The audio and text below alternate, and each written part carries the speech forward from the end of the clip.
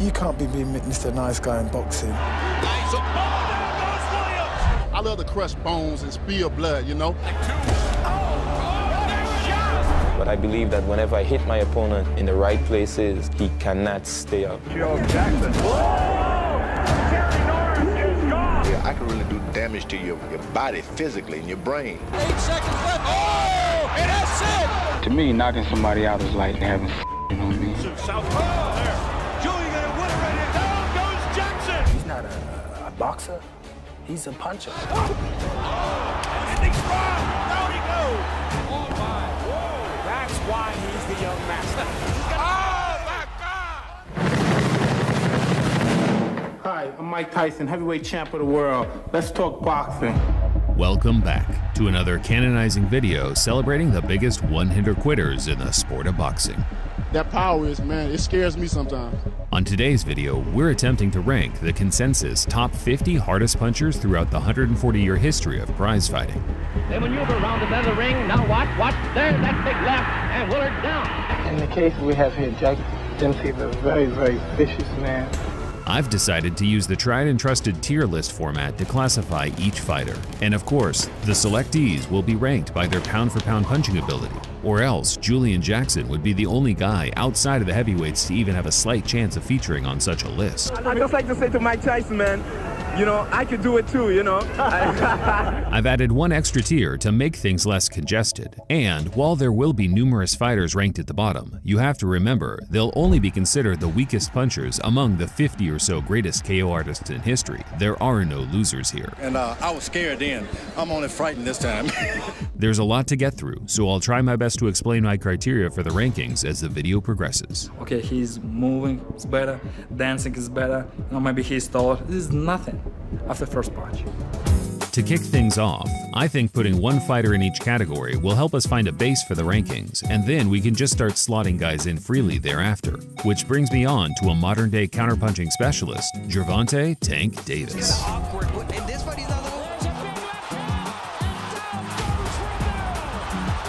A fighter that has been knocking on the door to enter the pound for pound list for the last few years. Tank Davis has built quite the reputation of a one punch specialist who lures his opponents in by setting crafty traps.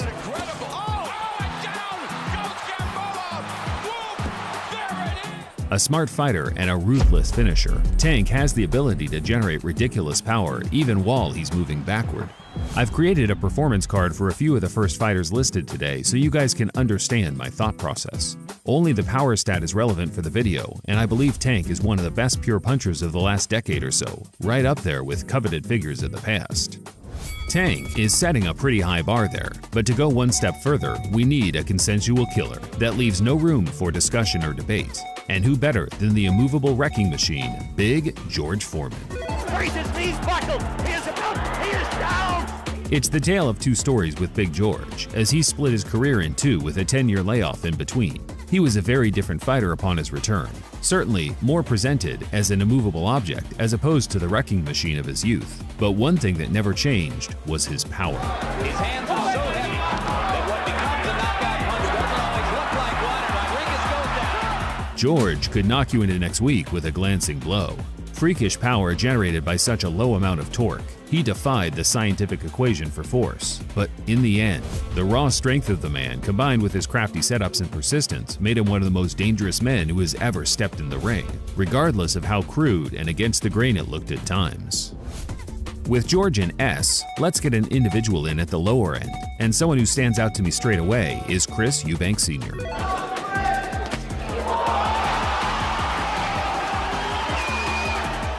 I think there are certain versions of Eubank that could give him a much higher rank. I mean, his ability to clean a clock with a single blow can't be refuted. But, due to multiple circumstances, one including a tragedy in the ring, he gradually lost that killer instinct and became more comfortable with winning over the distance. You are mine, you belong to me. I am the man.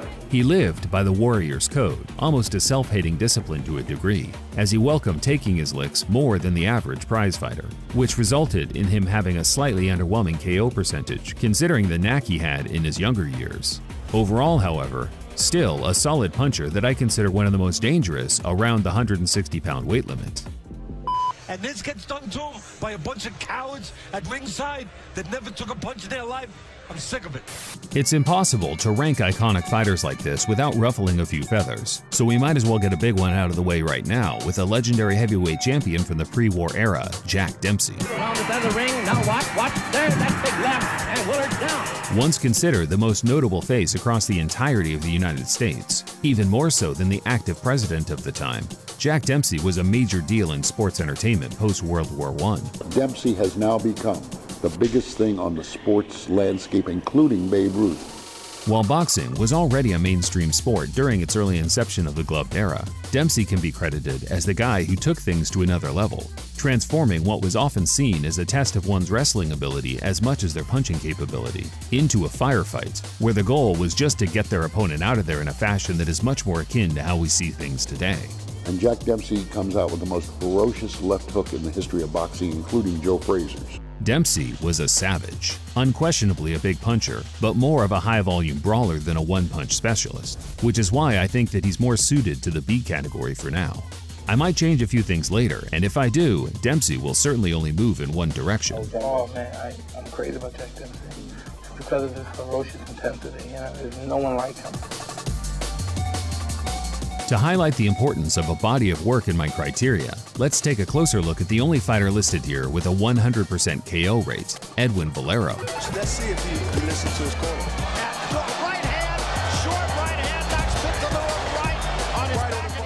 Valero is definitely one of the greatest what-if stories in boxing. Despite being a champion in two weight divisions, his career was cut short right around the moment boxing fans were anticipating some high-level, pound-for-pound showdowns that would have undoubtedly certified Valero's legacy for better or worse. Oh, down goes Peterson on the counter. Wow, what a punch! in his mind, he thought that he can go out there and just by throwing the first few shots, he would destroy the opponent. And he was right. He was a strong, big punching, high volume brawler who won all 27 of his fights by knockout, with 19 in the first round. Yet, he didn't quite produce a body of work that could force his name to be in the mix with some of the ATGs that will place higher on the list. In 121 professional fights, Robinson has lost only one. To accentuate this list being entirely about punching power, I will slot the consensus GOAT of boxing at a modest C tier. Oh, I saw him at his best, and, and uh, he was the best fighter ever lived, pound for pound. Sugar Ray Robinson was the perfect fighter in every sense. You can play out his highlight reel for casual or even non-boxing fans, and his glaring greatness is apparent for all to see.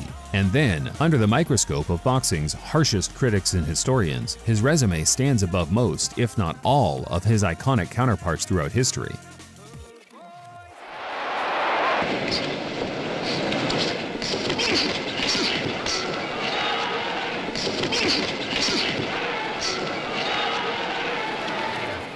In his prime, the best and the greatest pound for pound, the perfect all-rounder who could outbox the boxers and outslug the sluggers. Perhaps more known for his speed of hands and feet, but he could also turn out the lights on some of the most durable and resilient opponents with a single shot once the opportunity presented itself. No one can touch him. Russia and Cuba and Poland. Anybody on the planet beating them all. Sugar Ray is a rare fighter in the 100 Club for knockouts, being the only former middleweight champion in history to achieve this feat. A legend, an icon, a GOAT. Pound for pound, meaning that I imagine if he was a heavyweight fighting the same style, he'd be the greatest. Now that we've got some of the structure set, allow me to slot in a few guys off the cusp without racking my brains. Alexis Arguello, an iconic puncher around the super featherweight limit, more of a high volume guy than a one hitter quitter, but a wrecking machine nevertheless. Bob Foster rarely went the distance during his peak as light heavyweight champion in the early 70s. Tall and rangy, he even fancied himself against the likes of Joe Frazier and Muhammad Ali, despite a 30 to 40 pound weight disadvantage. I am so strong. I am so powerful. I am Superman. Vitaly Klitschko was a man mountain in the 2000s, a true modern day heavyweight who emphasized every inch of his height in the ring. I think of him more for his strength, but he certainly had some pop. Similar sentiments can be made for Vitaly's brother Vladimir. He was more of a glass cannon than his brother, but I would argue he was a technically better puncher in his prime. Bob Fitzsimmons was everything Bob Foster was, but he made his power count upon moving up to heavyweight. And by moving up, I mean just weighing the same as he always did, 170 or so pounds, and then just wreaking havoc on guys twice his size. The OG puncher, a real killer during the sport's early years of the gloved era. Lennox Lewis is the best. I lay them all to rest. Lennox Lewis. I would argue a better puncher than the Klitschko brothers, despite his KO percentage being slightly lower. He cleaned out an entire generation of heavyweights. He beat every man he ever faced, and outside of immovable objects like Holyfield and Mercer, all of his memorable nights in the ring resulted in his opponents flat on their backs. I'm genetics, genetic freak, and I played with boxing, so imagine when I get serious with boxing. Shannon Briggs was a fun heavyweight who certainly left his mark as a decent KO artist, particularly during his rise in the 90s. Admittedly, a bit of a can crusher, but he achieved everything he could in the sport. Let's go, champ. Don't be scared, ladies. I'm just in shape. Don't get scared. I'm just in shape. I know that there will be a lot of debate amongst the guys ranked from A to E, but I at least want to be sure that everyone is content with the fighters in S, which brings us on to perhaps the most brutal single puncher of all time, pound for pound, Julian the Hawk Jackson. That's what we were worried about. Jackson fought for many years in the shadows of iconic pay-per-view stars of his own time. It wasn't until he retired and video sharing sites like YouTube came around that casual sports fans realized they messed up by not tuning into the boxing until the main event, because this guy was straight murking the competition on a lot of the popular Don King undercards in the 90s. Well, the hardest punch in junior middleweight today. He wasn't the most well coordinated and had questionable punch resistance himself, but his get out of jail free card was the most effective escape from an ass whooping I've ever seen in the sport. But I believe that whenever I hit my opponent in the right places, he cannot stay up. The current light heavyweight champion, Artur Beterbiev, has a 100% knockout rate with some decent skills to rely on against the more resilient opponents. He's the only world champion that's in boxing today that has a 100% knockout ratio for every fight he's ever been in. Frank Bruno was a scary man to deal with in the opening rounds. Brutish strength with a remarkable straight right hand, he was built like a Greek god, which didn't really help him as the rounds progressed. Any cruiserweight in the world cannot take my power. Any heavyweight in the world definitely can't take my power. If David Haye had just seen out his last days at cruiserweight, I have no doubt fans would have remembered him as an ATG at that limit. Still, a couple lackluster performances at heavyweight really soured and tarnished the reputation of one of the most explosive athletes of the 2000s. Thomas Hearns was the hardest puncher among the four kings, a true product of the Kronk. It's between A and B for me, but I'll go with B for now and maybe change a few things later. Yes, I would I would uh, fight more rounds and uh, uh, make him more pain. Sergey Kovalev was an impressive boxer puncher in his prime, very methodical in how he set up his power punches. A tremendous technical boxer, but a bit of a flat track bully whose resilience seemingly disappeared overnight. Both Duran and Chavez are boxers I'm worried about ranking here, given the fact they are notorious, skillful pressure fighters that broke their opponents down with an accumulation of punishment. C tier for now. Next up, we have, as Frank Bruno once said, the most dangerous, dangerous number one hitman in America, the G-Man, Gerald McClellan. For the WBC Middleweight Championship, Jay Bell in the white trunks. He's the challenger and the trunk. And look at this! Big left hook to the body, right in the solar plexus. McClellan was a perfect all-rounder, rangy, quick with a crushing jab and rib-breaking body punches. Jones's power over Hill's jab. Oh, right to the body, down Unheard of. Unheard of. His potential was untapped until it was unlocked by Emanuel Steward of the Kronk, who fine-tuned Gerald's finishing ability, imploring him to follow up and close the show once his man was hurt. You've never been past eight rounds? No, I will never go past eight rounds again. Gerald never forced his work. His power appeared effortless, just a heavy-handed individual. Um, Gerald McClellan, I believe his name, is from highlights, and he seems like, Like a dynamo. A fighter that I'm sure many people are eager to see place today. For my money, the most popular boxer ever based purely on his talent, Iron Mike Tyson.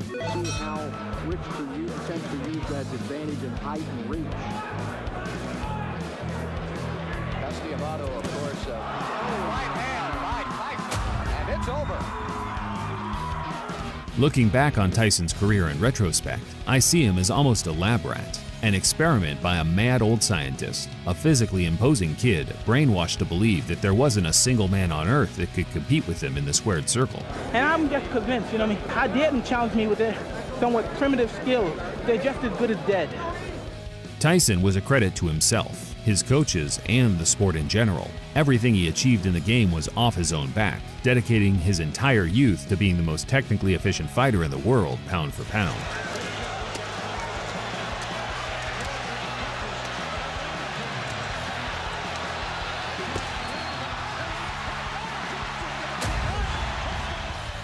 A short heavyweight that packed the punch of a behemoth while delivering it at the speeds of a flyweight. A great combination puncher. Left hooks, uppercuts, there weren't many shots Tyson couldn't deliver as well as, if not better, than the single shot specialist throughout history.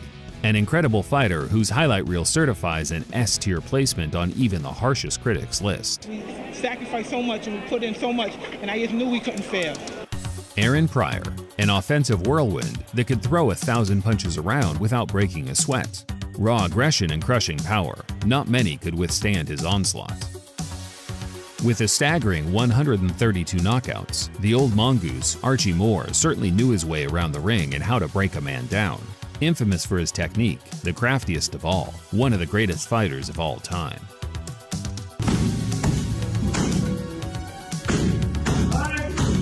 In a similar vein to Vladimir Klitschko, Anthony Joshua is a big punching heavyweight who has adapted his style to be more methodical after suffering a KO defeat.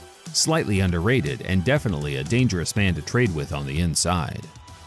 A fighter that's been forgotten with time, Peter Maher was the ultimate test for a rising heavyweight in the late 1800s. An old school badass who would go out on his shield trying to land that finishing blow. Looking up and seeing Pryor and Arguello together, it's only fitting that we get these two up there additionally. Zarate and Gomez were the hardest punching bantamweights of all time, and luckily for us, they fought in the same era. The 70s bantam and featherweight era was incredible, just unfortunately overshadowed by a golden generation of heavyweights. One-trick ponies are underrated, especially when that one trick is as great as Razor Ruddock's smash.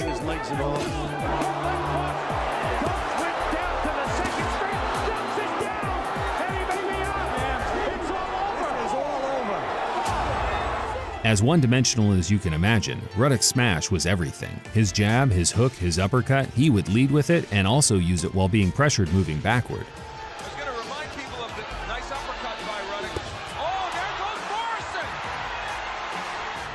Technically, the punch is known as a shovel hook, a cross between an uppercut and a hook. But Ruddock made it his own thing, knocked many foes out with it, and dished out some life-altering punishment for those that withstood it.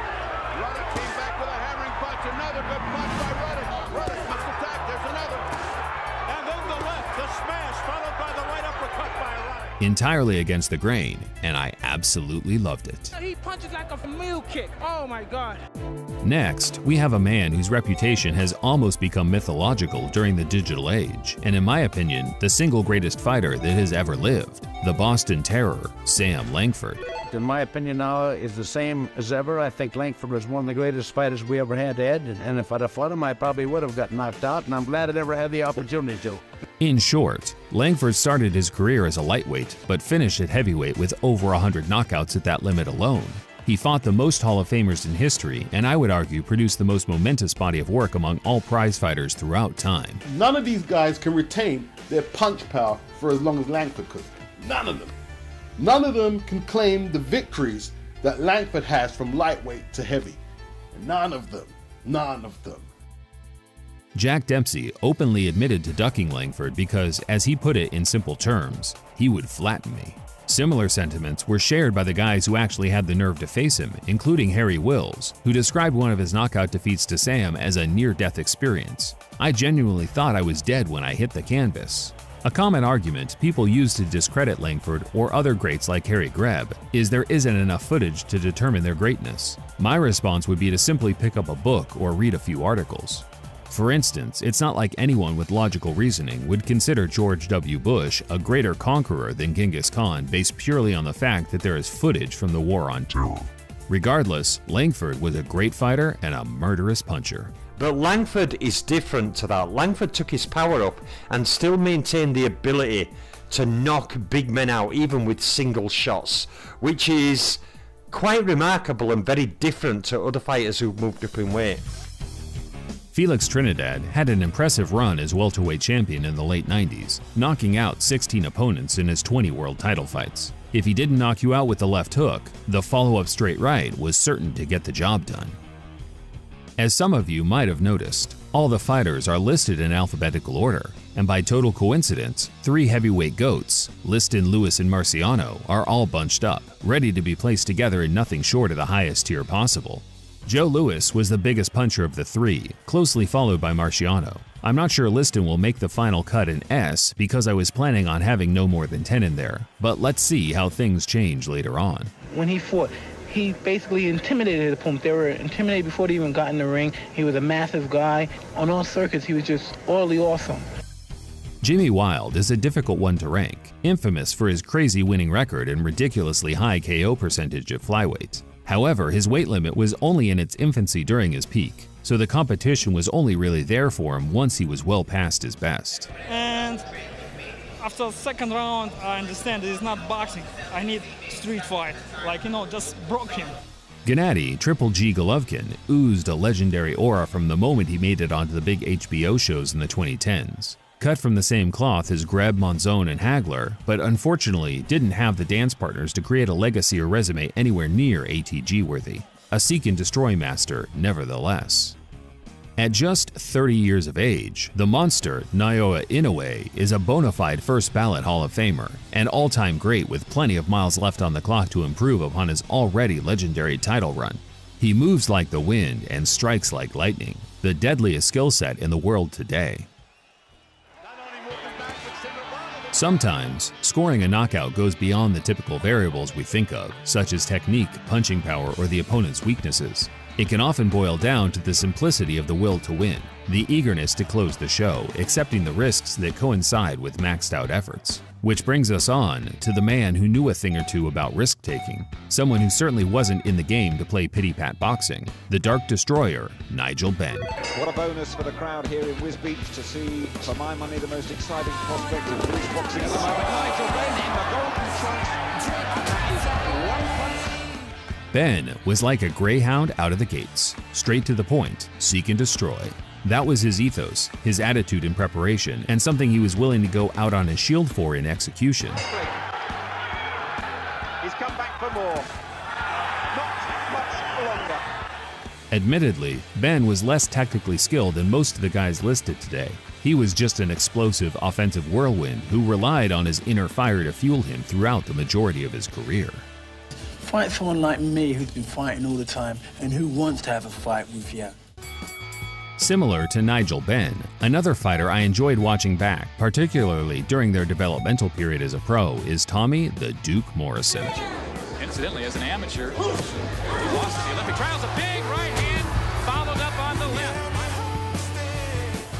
Despite doing damn near everything he could to destroy his own chances of becoming a top level pro, such as heavy drinking and slacking off during training, Morrison's athletic genetics persevered to help him fulfill a respectable career, especially given how jam packed with talent the heavyweight landscape was in the 1990s.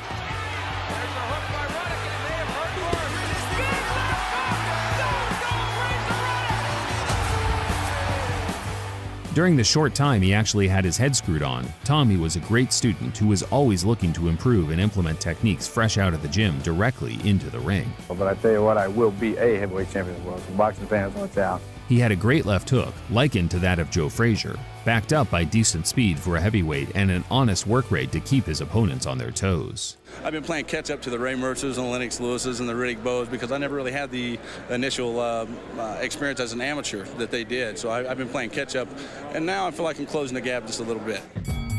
Talking of Joe Frazier, I would say he could punch at a level above the Morrisons and Ruddocks of the world. He became an icon and focal point of the most celebrated heavyweight generation in history, with his infamous left hook being the most memorable single shot of that time. Yeah. Were you ever scared of anybody in the ring? Now be honest.